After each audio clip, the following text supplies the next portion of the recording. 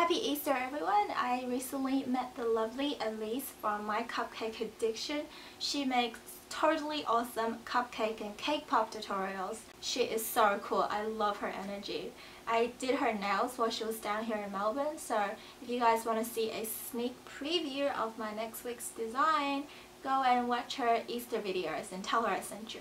Without further ado, here comes my pocket animal nail art tutorial.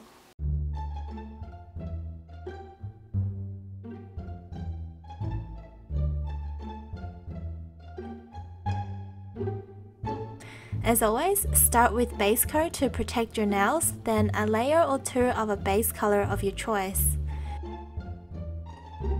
Use a lighter shade of the same color family and draw a semicircle on the tip of the nail. I just used the brush that came with the bottle. Grab a detail brush and line all the edges to frame the design. Again, I'm keeping with the same color family here and used a darker green polish.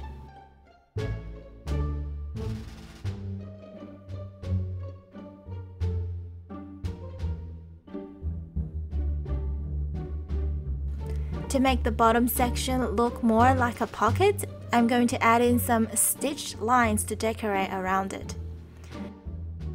Now it's time for the cute little pocket animals. Since Easter is coming up, I decided to go with a bunny rabbit. I did come up with a few alternatives for different kind of animals you can put in your pocket, so it's up to you whether you want to occupy all your fingers with cute animals or you can do an accent nail with one animal of your choice, then just have a stitched outline for the rest of your nails to complement the accent nail. So once you've drawn in the basic shape of the animals, color in the ears and dot in the eyes. Don't forget to add a little button on top of the pocket. For the little kitty design, I just changed the shape of the head and added in some tiny pointy ears instead.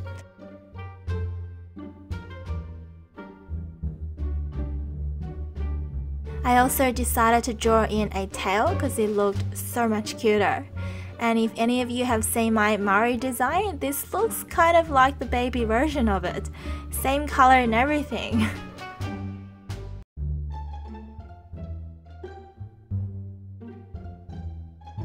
And then for the little cheeky monkey, I decided to go with the color scheme from one of my older videos I did of the morality monkeys. If you want to go visit that tutorial, you can click on the annotation or find the link in the description box below. Tell me which monkey is your favorite so I know if my skills have improved after 3 years. and then there is the little pinky.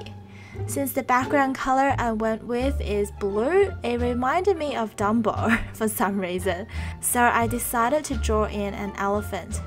And then after it came out, I thought, why does this look familiar? Then I realized the colors looked kinda similar to my Twilight Kitty nail design.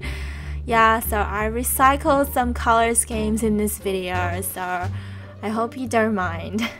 Anyway, so when you're finally done, add a layer of top coat to protect your masterpiece. If you like this video, please rate and add it to your favorite playlist. Please subscribe for updates. I upload new videos every Thursday.